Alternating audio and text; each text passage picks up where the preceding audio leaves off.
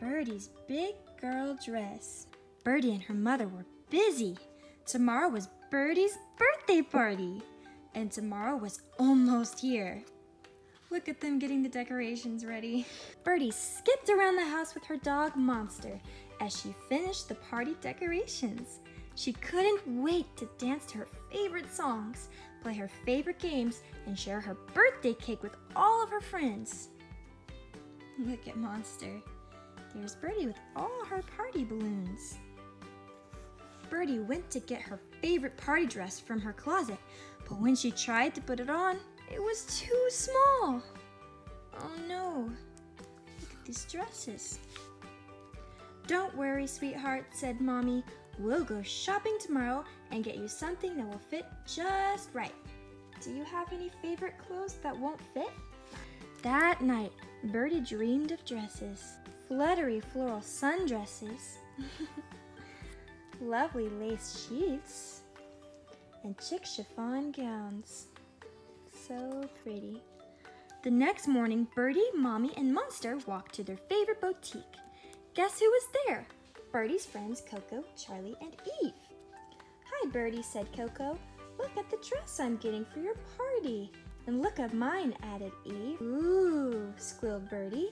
They're perfect. Birdie's mother handed her a fabulous frilly sundress. It was beautiful, but it was too big to play games in. Next, Birdie tried on a lacy sheath. It was silky and smooth, but it was too snug to eat cake in. So Birdie reached for a gauzy gown. It made Birdie feel like a lady, but it was too long to dance in. Do you think she'll ever find a dress that she can wear? Let's see. Birdie tried on dress after dress, but none of them felt just like her. Poor Birdie, she had nothing to wear to her own party. What are you going to do now? asked Charlie. There's her friends. I don't know, but I'll think of something, she said. See you guys at the party.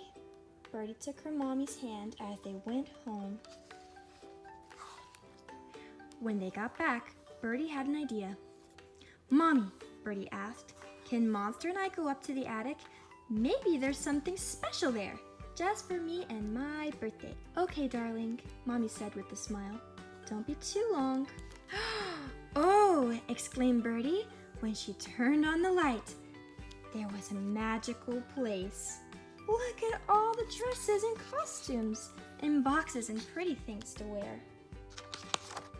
Birdie giggled as she wrapped a big shawl around herself. She felt so stylish. Here, Monster, try on this top hat. Monster felt so dapper. But whose clothes were these? Birdie knew they must have belonged to her grandma and grandpa. Ooh, look, Monster! Isn't this the most beautiful dress? Monster looked pretty in pink, too. I love Grandpa's fancy vest. Ding dong, ding dong. The doorbell rang and rang. Coco and Charlie and Eve were here. Wow, Birdie, you look beautiful.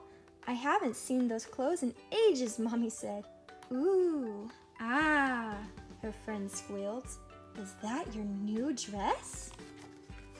What dress is she going to wear? Let's see. Ooh. Yes, said Birdie with a smile.